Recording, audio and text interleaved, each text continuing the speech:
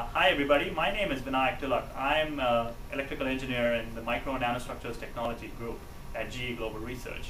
And I'm working on a pretty cool technology, which is high temperature electronics. GE makes huge gas turbines, steam turbines, aircraft engines, which are basically combustors uh, that run at very high temperatures. And there's a need to sense uh, temperature, pressure, and so on at these hot areas.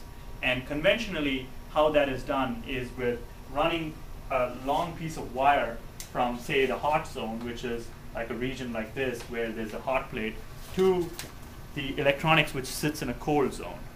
Uh, another area that you would need high temperature electronics is downhole. GE has an oil and gas business where we make tools for downhole for exploration of oil and gas and geothermal energy, which is a renewable energy. And for these explorations, uh, you need high temperature electronics to uh, explore in a cost efficient manner. Current electronics cannot do either of them. So in order to demonstrate GE's high temperature electronics, what we're going to show you here is that this is electronics that operates at 300 C. It's basically like a high temperature electronics whistle. As you can hear here, there is a chip right now sitting at 300 degrees Celsius and operating and driving the speaker where you hear this whistle-like sound. This shows that this chip is indeed working at these high temperatures.